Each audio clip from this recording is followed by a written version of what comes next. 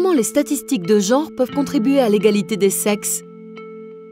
L'égalité des sexes est un objectif central dans les agendas internationaux et régionaux et l'un des défis majeurs pour un développement durable et inclusif dans le monde.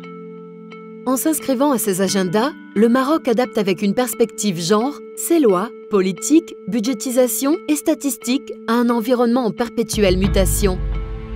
Pour une bonne connaissance de la réalité des femmes et des hommes et de la situation de l'égalité, il est nécessaire de combler les lacunes en matière de données afin de suivre les progrès réalisés.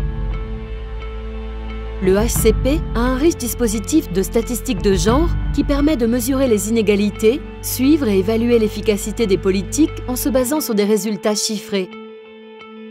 Les statistiques de genre ne sont pas seulement des données ventilées par sexe, mais elles révèlent également les besoins et les aptitudes distinctes des femmes et des hommes dans différents domaines. Au-delà des domaines tels que l'économie, la santé, l'éducation et l'emploi, elle lève le voile sur d'autres domaines et dimensions intégrant une perspective de genre. Il est donc crucial de tenir compte de ces questions de genre dans tout le processus de production des données.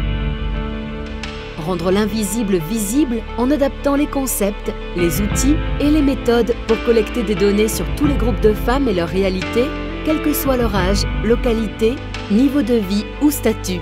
Les statistiques de genre fournissent alors des informations stratégiques sur les inégalités entre les femmes et les hommes dans différents domaines et permettent notamment de mesurer la vulnérabilité des femmes, leur niveau d'autonomisation et de participation à la société et au développement.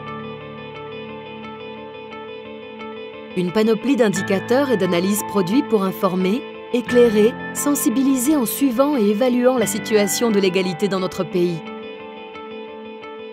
Le HCP développe ainsi une plateforme digitale et interactive dédiée exclusivement aux statistiques et études sur le genre afin de faciliter l'échange et le dialogue entre les acteurs.